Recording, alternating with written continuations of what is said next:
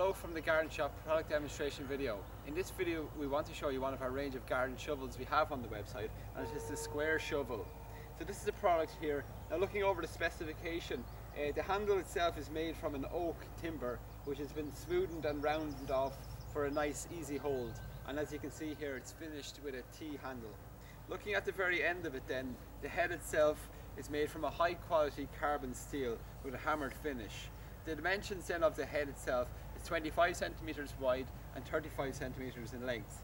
The handle itself is 35, uh, 37 millimeters in diameter and then the overall length of the tool is 107 centimeters.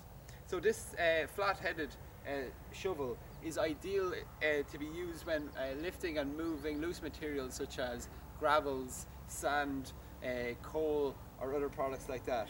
It can also be used to do a small amount of weeding around the garden and a small amount of digging if preparing drills in the vegetable garden.